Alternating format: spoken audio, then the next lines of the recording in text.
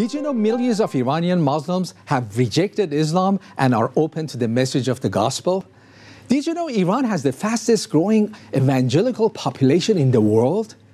Did you know Islam is experiencing its greatest defeat in its history in Iran today?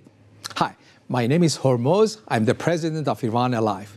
Yes, God is opening an Islamic nation for Christ. The Lord, by His grace, has positioned us to have a tangible impact in the Middle East through Iran.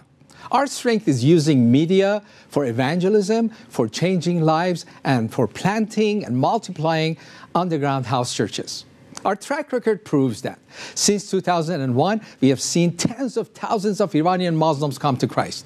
We have planted over a thousand underground churches in over 100 cities. A recent independent survey has shown that our channel is the most watched channel among all Christian channels, and number six among all secular channels.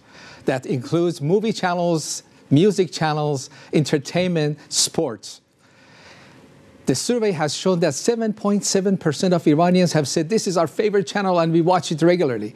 That means 6 million are watching us daily, 20 million weekly, and 130 million potential viewers. I invite you to join us to bring transformation to the Middle East through Iran.